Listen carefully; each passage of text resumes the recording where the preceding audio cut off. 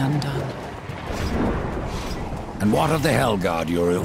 Every blade dulls, eventually. That's what I'm counting on. The demons will suffer all the more when we force the blade home.